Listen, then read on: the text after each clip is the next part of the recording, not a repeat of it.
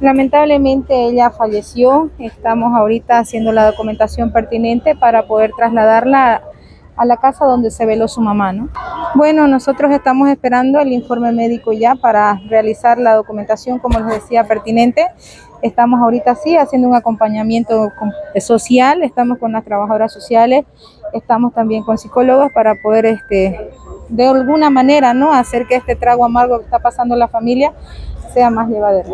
Sí, estamos nosotros luchando por el niño, estamos haciendo todo lo imposible, agradecer a los médicos que han atendido a estos niños, que siguen atendiendo al niño por todo el, buen, eh, la buena atención que se está brindando. Gracias a Dios, este, sí se tiene ayuda desde el Ministerio de Gobierno, tenemos a diputados acá también presentes y también la eh, presencia de nuestro alcalde del municipio, Carlos Montaño, como también de los concejales de nuestro municipio. ¿Qué clase de ayuda se le está brindando el gobierno? Ayuda económica, están brindando ayuda económica y también acerca de la investigación para que lleguemos a dar con el paradero de este monstruo. ¿no?